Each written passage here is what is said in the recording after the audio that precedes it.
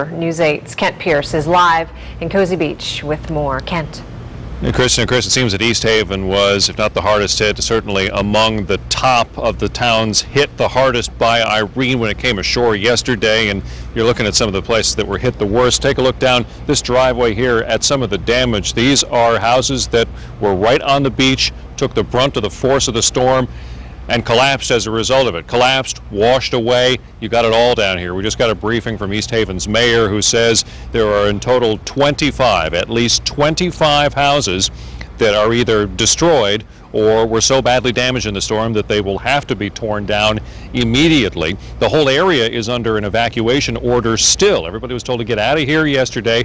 Just about everybody did, thankfully, and that kind of devastation is why they were ordered to evacuate. That evacuation order is going to be lifted at 10 a.m. People are going to be allowed to come back to their homes even if there isn't a home to come back to. Uh, the mayor of East Haven telling us that uh, she realizes there is a grieving process that needs to get started, not grieving for people. There's no loss of life here in East Haven, but grieving for homes and for all the memories in those homes that have been destroyed by the storm. So 10 a.m. people are going to be allowed back down here. Right now, Cozy Beach Avenue, which is right about where the camera is, is closed down. So are the streets, the side streets that lead down to Cozy Beach Avenue. Uh, everything around here affected in some way or another. The high water mark way inland, another block away from the beach from where we are. Uh, obviously, it's a big mess. It still needs to be cleaned up, and there are plenty of houses that still need to be inspected.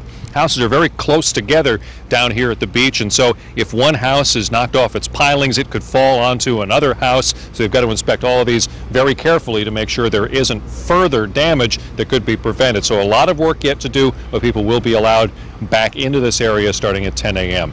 Live in the Cozy Beach section of East Haven, I'm Kent Pierce, News 8.